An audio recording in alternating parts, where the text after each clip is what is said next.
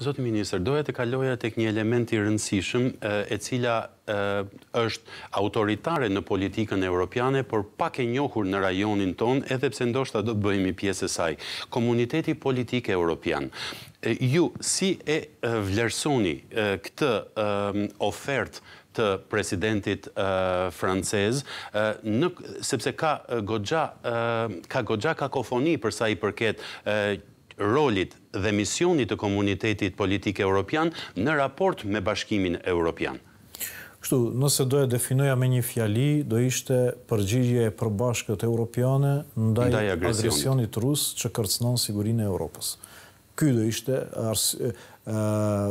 momentumi që solli deri te organizimi ose formimi i kësaj i këtij komuniteti. Nuk e shohim në prizmën e Bashkimit Europian, në prizmën e zgjerimit, për shkak se këtu në Ballkan kryesisht kështu u trajtua. A është kjo alternativa e re, a është ky korridori i pritjes për vendet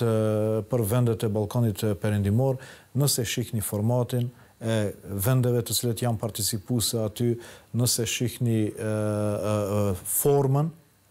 por edhe përmbajtjen që ka komuniteti, do e shihni që është platformë për konsolidimin e dialogut politik në Europë, në kontinentin e Europës, vizavi zhvillimeve gjeopolitike të cilët janë të karakterit historik, me agresionin rus po natyrisht edhe për të treguar rolin e Europës. Po ne kemi zoti ministër se të bën përshtypje ekziston Këshilli i Europës,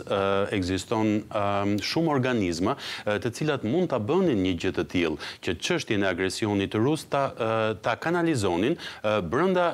institucioneve ekzistuese nëse jam i qartë dhe përse është i domosdoshëm një iniciativë e re Ndërkohë që ekzistojnë qindra institucione të Bashkimit Europian, të Këshillit të Europës dhe nga ana tjetër, Bashkimi Europian është magneti kryesor dhe ëndrra kryesore e atyre që tentojnë të ecin përpara në jetën demokratike të vendeve individuale. Shihni, periudha të ndryshme historike kanë krijuar kontekste për formimin e platformave të ndryshme që do u përshtateshin rrethanave të momentit. Ashtu në shtatëdhjetë e pesën krijohet Konferenca për Bashkëpunim dhe siguri në Europë dhe pastaj në nëntëdhjetën OSBE nuk e shoh natyrisht edhe si alternative OSBE-së, veçanërisht jo ne të cilët tani marrim kryesimin me OSBE-në, por e shoh një përgjigje e momentit për një sfidë të momentit, për një botë tjetër në aspekt të organizimit gjeopolitik, për një kërcënim të ri në kuadër të rrënimit të arkitekturës ekzistuese të sigurisë në në Evropë dhe është një mesazh i unifikuar i ndaj tentativës ruse për të funksionuar në parimin përçaj dhe sundo në Evropë dhe mendoj që as ai mesazh ishte shumë i fuqishëm për t'i dhënë për t'i treguar Federatës Ruse se nuk ke vend për shkak se vetëm Federata Ruse dhe Bellorusia nuk ishin në pjesë e komunitetit edhe pse janë territorialisht në